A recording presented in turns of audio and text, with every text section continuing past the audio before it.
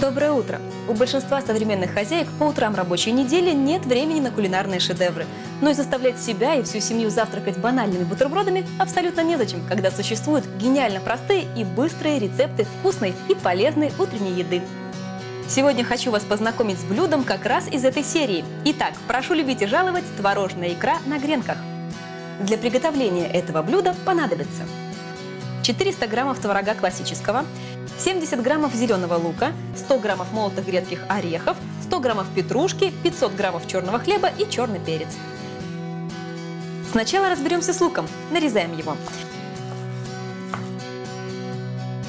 Теперь основной ингредиент – творог. Это отличный источник кальция, калия, фосфора, ну и, конечно же, белка. Творог на завтрак, и вы прекрасно себя чувствуете, полны сил и энергии в течение всего дня.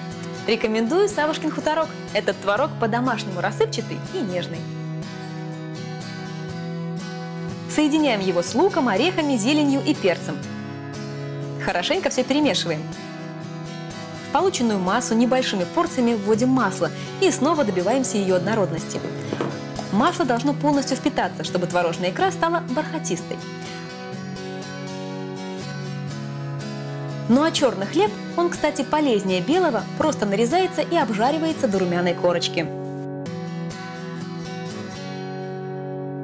Финал. Творожная икра отправляется на поджаренный хлеб. Оригинальные гренки с яркой и вкусной творожной икрой готовы всего за несколько минут. Приятного аппетита!